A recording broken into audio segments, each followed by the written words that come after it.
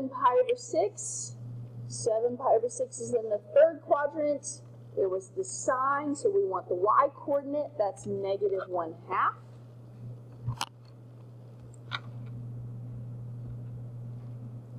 Okay, the cosine of 7 pi over 4. 7 pi over 4 is the fourth quadrant. We want the x coordinate, so that's square root 2 over 2, positive. Square root 2 over 2. And finally, 215 degrees, that is in the, oh, 215 degrees is not on our unit circle. So, if they asked you for something like that, that's not on your unit circle, then you just have to type it into your calculator. Okay, so I gotta make sure I'm in degree mode. So I'm gonna type it in, sine of 215, and I just gotta write down that value. Not pretty, but I just gotta write it down. Negative 0.57.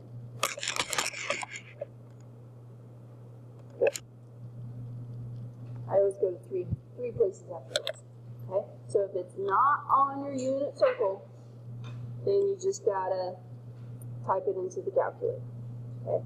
Even if it is on the unit circle, technically you can type it in the calculator, but they're going to be expecting the pretty square root answers. If it's on the unit circle, they're expecting the square root answers, not the decimal answers. Okay?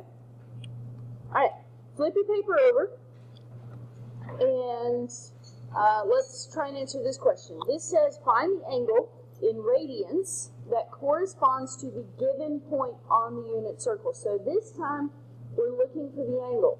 Here's the point, we want the angle. So we want to find the angle where the uh, x value is the square root, positive square root 2 over 2, and the y value is the negative square root 2 over 2. Well, positive x, negative y means we're in the fourth quadrant. So in radians, that would be 7 pi over 4.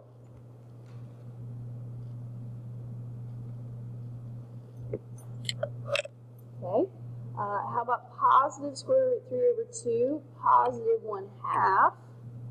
Well, that would be pi over 6, right? Positive x, positive y is first quadrant, and that point is pi over 6. I'm just looking for that coordinate on the unit circle and recognizing its angle. Okay, let's look at this. Identify all angles in radians and degrees where the cosine of theta is equal to 1 half. Well, cosine is our x coordinate. I would kind of write that on my paper, like when I see that, I would put an x over it. So I'm thinking when I look at my unit circle, I'm looking for all the places where my x coordinate is 1 half. Well, I know that happens in the first quadrant at 60 degrees and pi over 3. And that also happens in the fourth quadrant at 300 degrees and 5 pi over 3. So those are my answers there.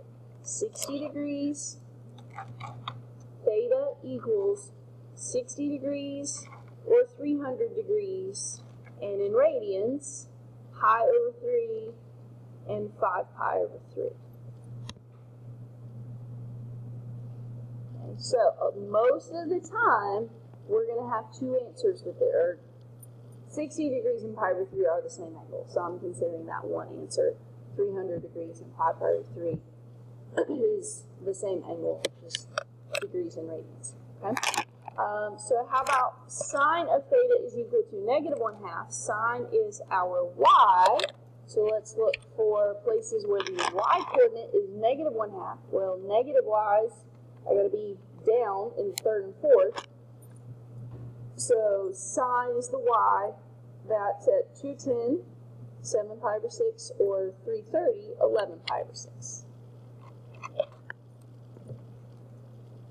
Theta equals 210 degrees, or 7 pi over 6, and 330 degrees, or 11 pi over 6. And guess what? You can confirm this.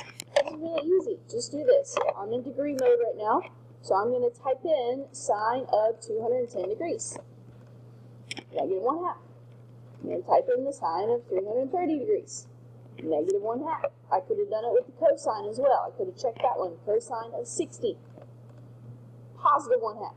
Cosine of 300. Positive 1 half. Okay? So you can check these very, very easily um, because technically this is an equation. Right? Technically this is an equation right here. Um, so remember, you can always plug your answer choices in or the variable to check an equation. All right? So that's really